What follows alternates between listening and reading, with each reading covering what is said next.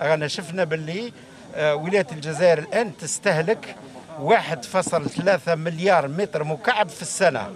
يعني أظن أكثر آه، أكثر 10% من ال- الغاز اللي يتوسع على مستوى الوطن واللي هو 14 14 مليار متر مكعب. وحنا في ال- البرنامج نتاعنا في الاستراتيجية نتاعنا في المستقبل رايح نحاول ماناش رايحين نقصوا توزيع الغاز ولا الكهرباء لا لازم نلبيو كل احتياجات تاع المواطنين.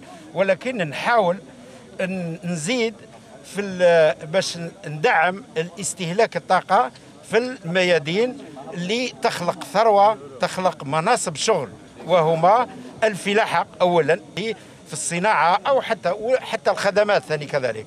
هذو هما ال ال الميادين الاثنين اللي رايحين نركزوا عليهم في السنوات القريبة يعني يكون 80% من الاستهلاك الكهرباء ولا الغاز أو يمشي للمواطنين.